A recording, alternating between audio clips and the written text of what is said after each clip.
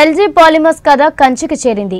High court ఆదేశాలతో విశాఖ జిల్లా యంత్రాంగం కదిలింది.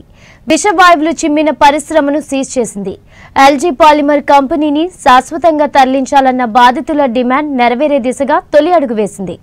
స్టెరిన్ గ్యాస్ లీక్ ఘటనను సుమోటోగా తీసుకుని విచారించిన హైకోర్టు కీలక ఆదేశాలు జారీ చేసింది. తదుపరి ఉత్తర్వులు వెలువడే వరకు కర్మాగారం మూసివేయాలని నిర్దేశించింది. విచారణ కోసం నియమించిన బృందాలు తప్ప ఇతరులు ఎవరూ ఫ్యాక్టరీ లోపలికి ప్రవేశించడానికి వీల్లేదని స్పష్టం చేసింది న్యాయస్థానం. అలాగే స్థిరాచర ఆస్తులను తమ ఆదేశం లేకుండా తరలించవద్దని ఉత్తర్వుల్లో పేర్కొంది. హైకోర్టు ఆదేశాలు అందడంతో జిల్లా యంత్రాంగం హుటాహుటిన కదిలింది. ఎల్జీ పాలిమర్ సంస్థను సీజ్ చేసేందుకు వివిధ విభాగాలకు చెందిన బృందాలు మొత్తానికి కంపెనీని సీజ్ చేశాయి.